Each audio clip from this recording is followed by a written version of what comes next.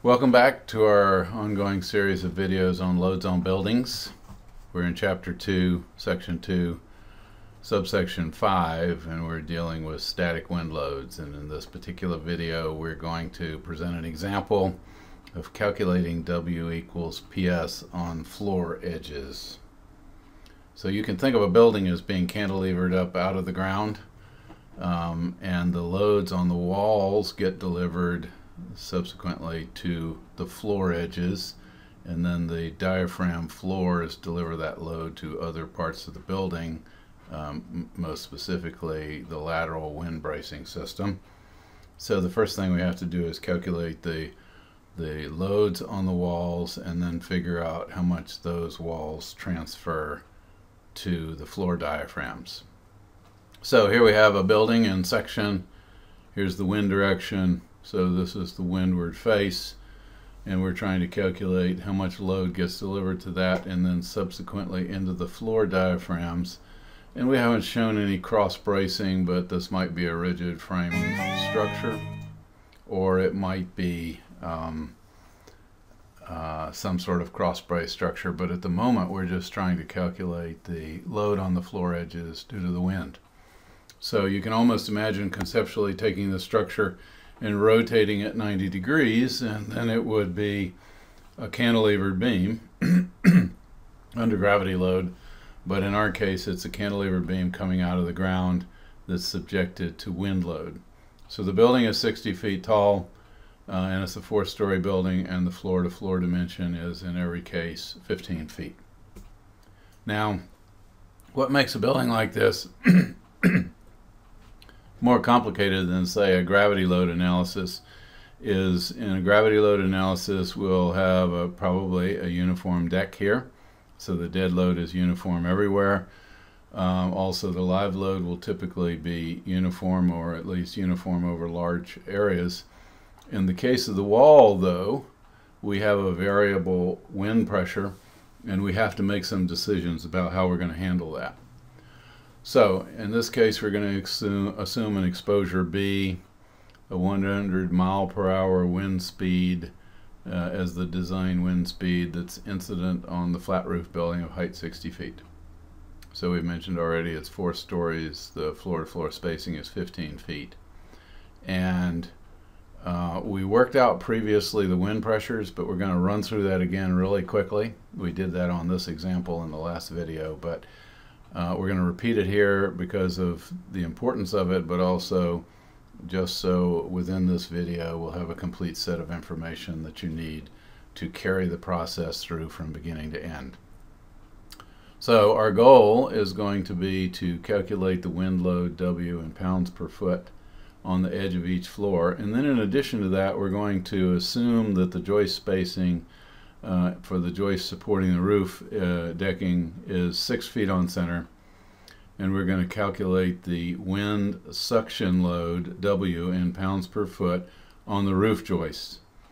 Um, that will not be a constant over the entire roof, just like the edge force uh, for the floors will not be constant because the design pressure varies over the area of the roof. So this is a repeat, but I'm going to run through it really fast and exposure B, 100 mile per hour wind speed is incident on the building. Um, because the building is more than 30 feet high, the variation in pressure that occurs above the 30 feet must be taken into account. And we're going to do that by using the height and exposure adjustment factor. And we're going to simplify it because that factor is variable from 30 feet up to 60 feet. Um, we're going to use the height and exposure adjustment factor for 60 feet for all elevations above 30 feet. In other words, between 30 feet and 60 feet, we're going to use the adjustment factor for 60 feet. That's just to simplify the arithmetic. And when we when we plot the diagram, you will see how uh, inconsequential the difference is. We're on the slightly conservative side, but not so much that we're being wasteful. All right, so from the uh, height and adjustment factor table, we said for exposure B up to heights of 30 feet, the adjustment factor is 1, so we can read data straight out of the tables. So the pressure on the windward wall from 0 to 30 feet is our adjustment factor of 1.00 times the pressure out of the table, which is 15.9 pounds per square foot. Um, on the other hand, from 30 to 60 feet, we're going to use the adjustment factor for 60 feet, which when we look that up is 1.22. So between a height of 30 feet and 60 feet, the uh, design pressure on the windward wall will be taken to be 1.22, which is the adjustment factor, times the basic uh, wind pressure that we read out of the tables, which is 15.9 pounds per square foot. So we get 19.4. For the uh, windward side of the flat roof, we have a wind suction that's minus 19.1 pounds per square foot. If we had a 30 foot high building, but we have a 60 foot high building, so we need this adjustment factor of 1.22. So the upward suction on the windward side of this flat roof is going to be 23.3 pounds per square foot. The minus sign signifying that it's suction.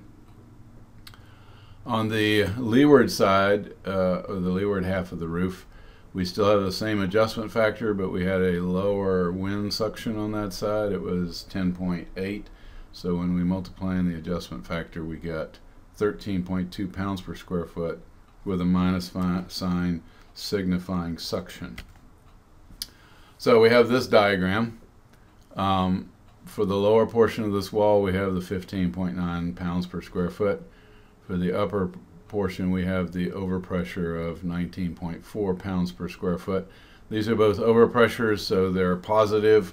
Then on the roof, on the windward side, we have a suction of minus 23.3 pounds per square foot, and on the leeward half of the roof, we have a suction of 13.2 pounds per square foot with a minus sign to indicate that it's suction. So the minus sign means that suction and the arrows that are drawn here are indicative of the directions of the forces that are involved. All right, now that we have wind pressure data, we can move on. We can use that information in the formula W equals PS to calculate the line distributed forces on the various parts of the structure. So we have this wind distribution on this structure so this diagram is showing us the location of the floors and um, the basic uh, geometry of the structure. This is showing us a plot of the wind pressures. So we could take these and put them directly on top of this building. now let me make a few comments on this wall. We may have some sort of wall that spans from floor to floor. It could be a concrete masonry or some sort of steel, light gauge steel, or it could be glass. But whatever the case, we'll have, like, for example, um, mullions for the glazing system would span from floor edge to floor edge. So we could analyze what W is on each of those mullions, and we would have to do that, in fact, to size the mullions unless of course we can simplify all that by having tables from the manufacturer that say you can span such and such a distance under such and such a wind force with this prefabricated system that we want to sell you. So you may or may not get into the details of analyzing uh, the mullions in that wall, but somebody has to analyze it. It either has to be data that comes to you from the manufacturer, or you have to analyze it, or your engineer has to.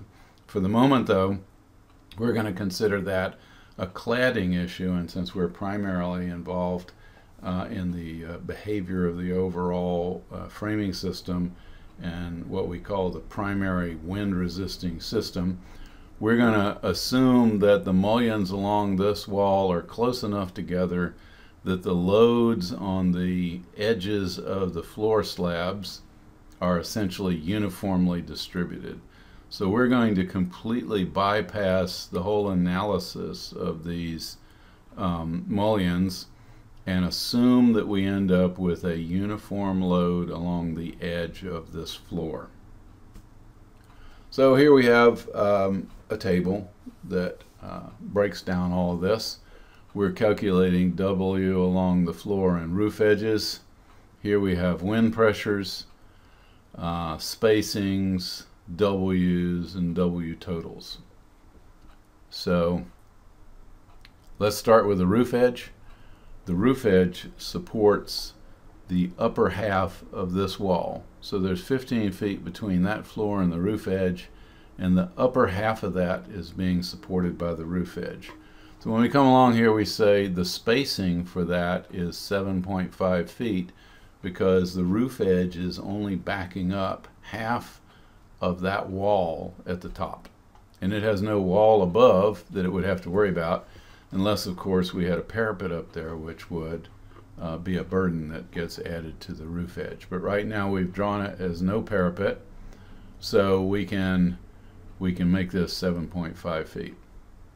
And the wind pressure is 19.4 because that's what it is on the upper half from 30 feet to 60 feet up on that wall. So we have a wind pressure of 19.4 and it's positive uh, because it's it's uh, basically an overpressure. So 19.4 times 7.5 is 45.5 pounds per foot as the load W along that edge of the roof. And then we say W total, and that's everything because, in fact, there is no force from any wall above because there is no wall above.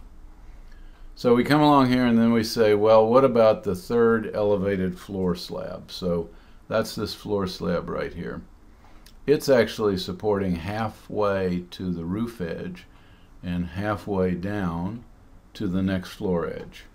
So we're going to treat those as two separate cases and we're going to tabulate it. So we have from the upper, from the wall above, we have a wind pressure of 19.4 and a vertical dimension or a width of 7.5 and we multiply those together and we get this.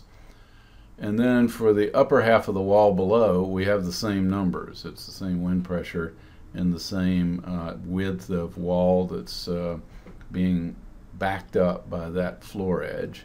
So we multiply those together, we get 145.5. And then we add these two contributions together, this being the contribution from half the wall above, that being the contribution from half the wall below. And when we add those up, we get 291 pounds per foot. Now when we go look at the second elevated floor, life gets a little more complicated. We have half of this wall above and half of the wall below contributing to the load on that floor edge, but we don't have a completely consistent situation because the wind pressure varies. We're accounting for 19.4 pounds per square foot above and only 15.9 pounds per square foot below. So when we go to our table, we basically say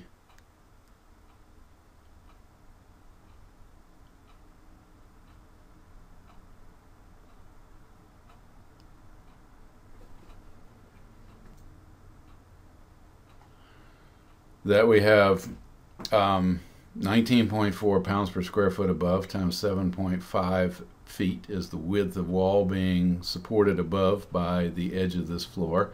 So we get the same number here. When we multiply those two together, we get the same number here that we got above. But for the wall below, it's 15.9 pounds per square foot times 7.5 feet uh, as the width of floor, oh, the width of wall being supported. So that comes out to 119.3. And when we add these two numbers together, we get this number, which is lower than that one because this number is lower than that one.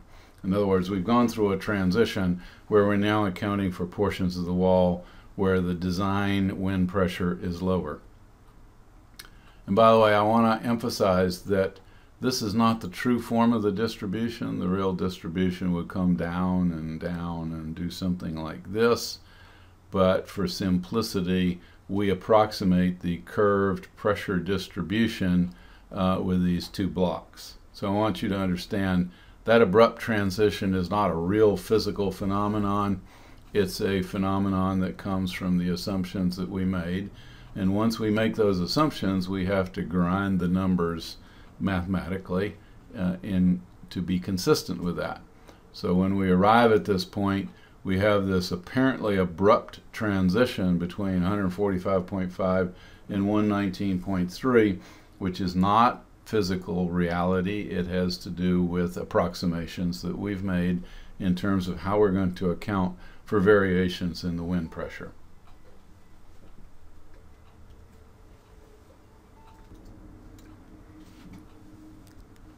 Now we go down to the first elevated floor slab edge. And so we go back up here and we'll say that's this one right here.